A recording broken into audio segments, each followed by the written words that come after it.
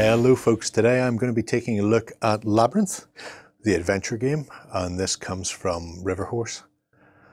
It is a role-playing game and it's based on the um, film from the 80s of Labyrinth.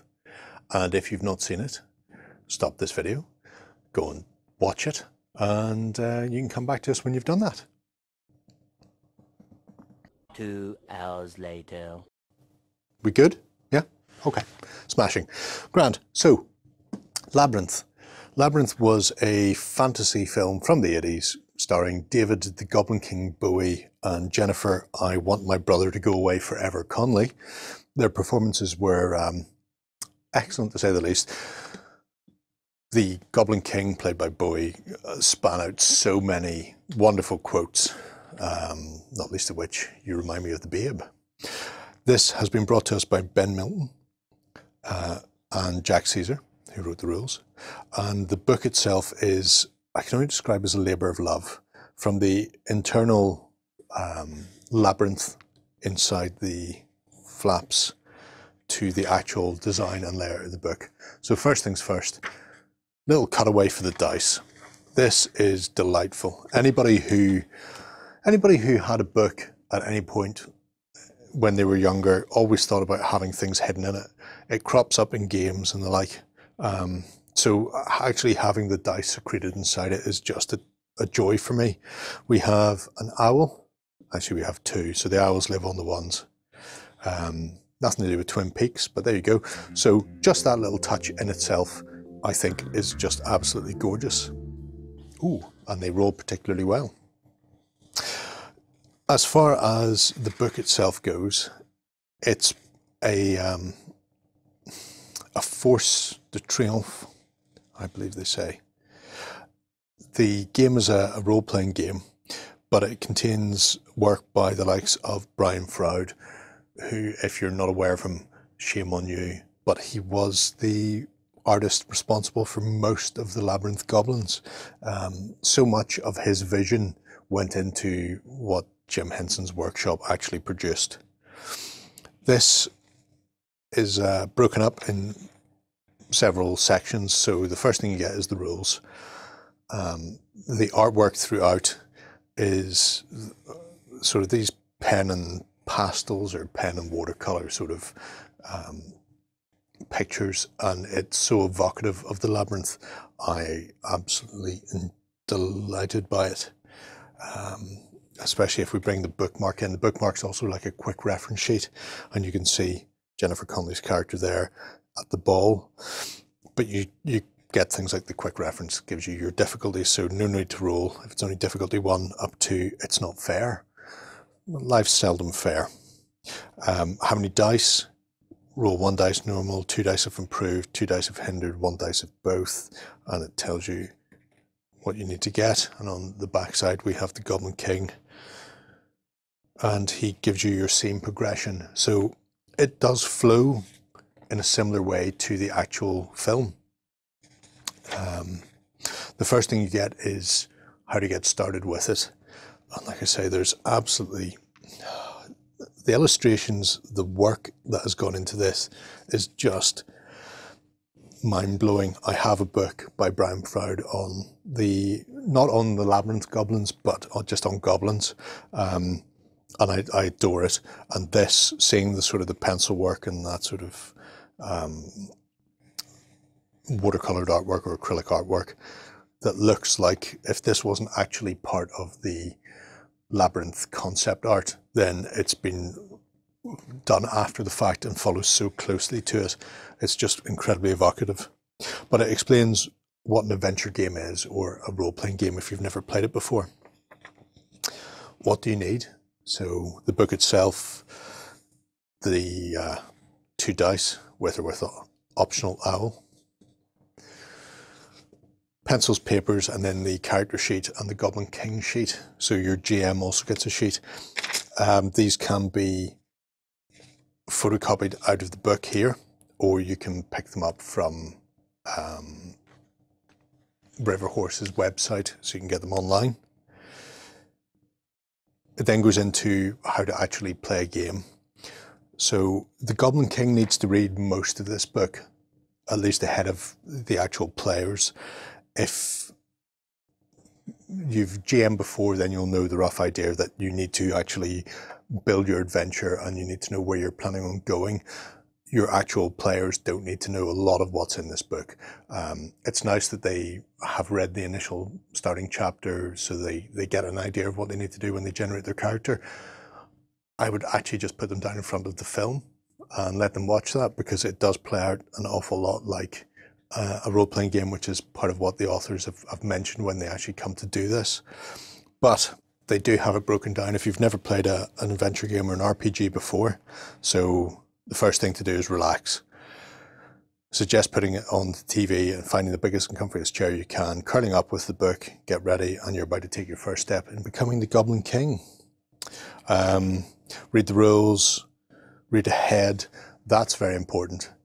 Uh, knowing where you're due to go and what your characters are going to face in advance is always handy. But then you create your characters and run the adventure.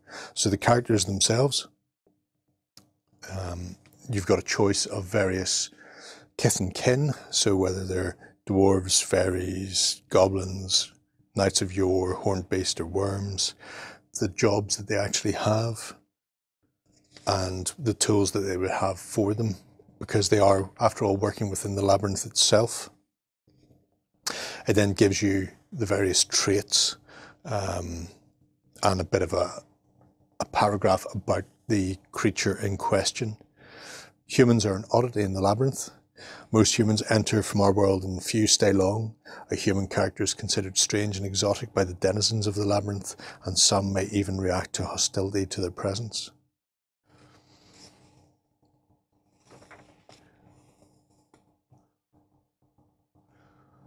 Here we have the likes of the horn beast and the worm, and they look absolutely fantastic.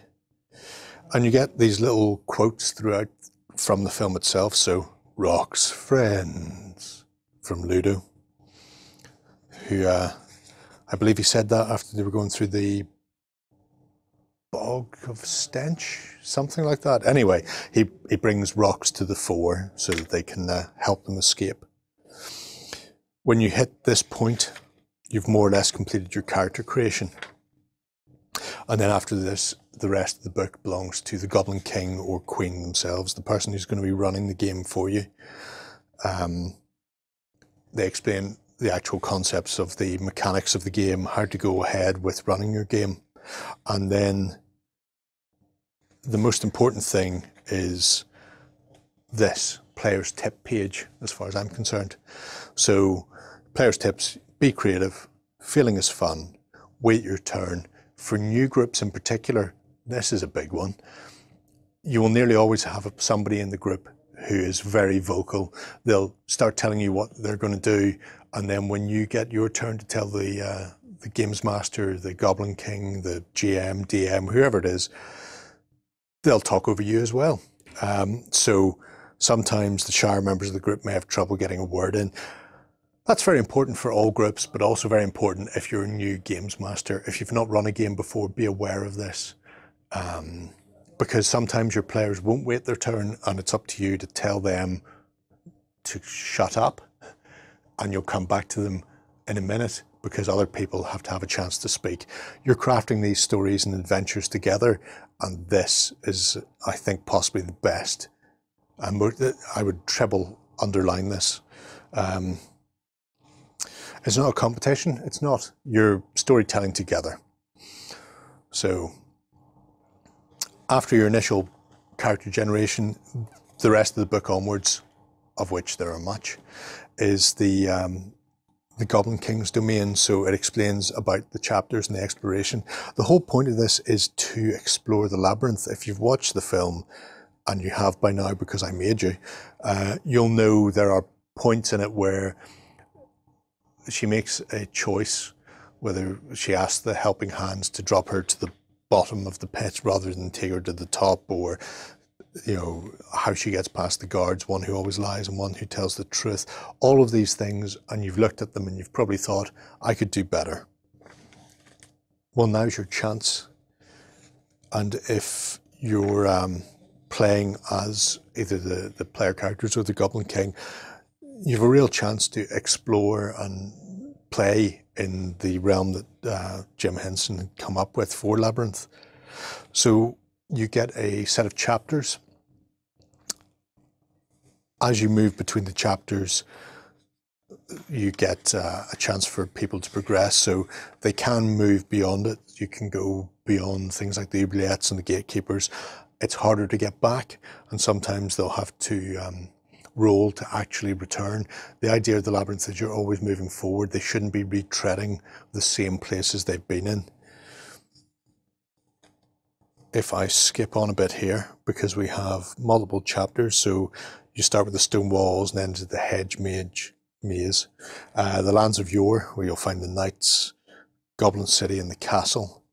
And each of these is beautifully illustrated and has a very simple setup so in the alcove in the hedge maze stands a booth occupied by a wizened old woman. A huge banner across the front reads, Fortune's told for good or ill.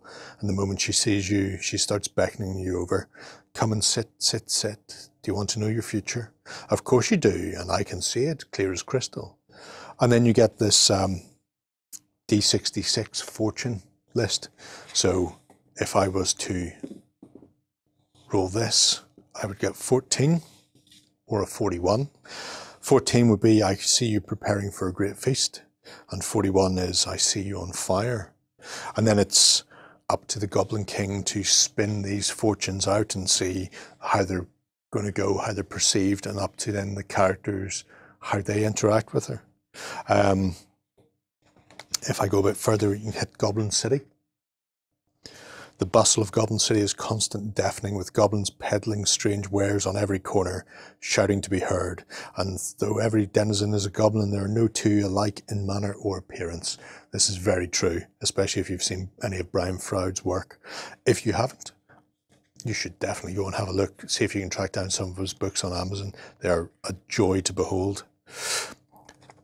As people wind their way through the gap, uh, through the, the labyrinth, they'll get closer to the Goblin King and the stories you and your group will make um, will define and structure how your labyrinth is, how it's different um, or similar to uh, what Jennifer had to go through until eventually you reach the castle itself.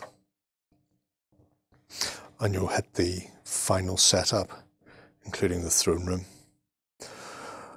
Apart from, I'm not going to dwell too much on this, apart from the actual chapters for the book, you have a toolkit allowing you to create your own bestiary.